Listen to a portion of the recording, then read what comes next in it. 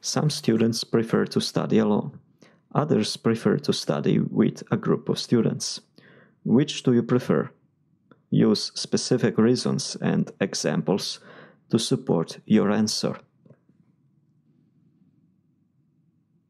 When someone is studying, he is not just reading the content of a book. One has to concentrate and get involved if he wants to grasp the things he is reading about and imprint it in his memory. We can study on two ways by learning alone or learning within a group. Both ways have their pros and cons.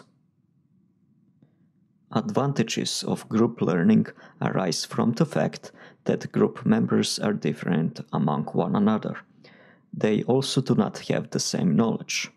So, when a problem arises, every group member will look at the problem from his point of view and offer a different solution. But there are also many disadvantages of group learning. If group members learn at different pace, those who learn faster will be bored when they have to wait for others who learn slower. Also, those who learn slower will feel despondent because of inferiority complex. Also, sometimes group members may start talking about something that has nothing to do with the topic that they are studying and waste valuable time. The main advantage of studying alone is that you have the freedom to study at your own pace and you do not have to wait for anybody.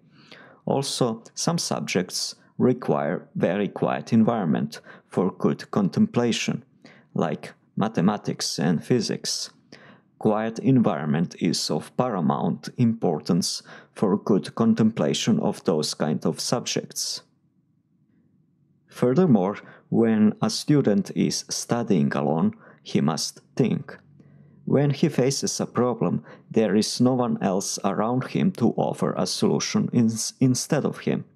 He must think for himself. If he does not know the answer, he must read a lot of different books and do research. So self study improves research ability. Also, in a group study, usually each student gives only one solution to a problem. For usually each student looks at a problem from only one point of view or from one angle. When a student is solving a problem alone, he must look at a problem from all possible angles. This improves thinking and also forces a student to do a lot more reading and ferreting. Finally, in the real world, we are often confronted with situations which we must solve on our own. Usually, there will be no one to help us. So, studying alone and researching on our own can prepare us for the real world. Though studying in a group has some pros, like solving problems faster, improving teamwork, friendship, and collegiality, I prefer to be self reliant. I prefer to study alone, since on that way I can get a proper sense of what my weaknesses are and get to work on overcoming them.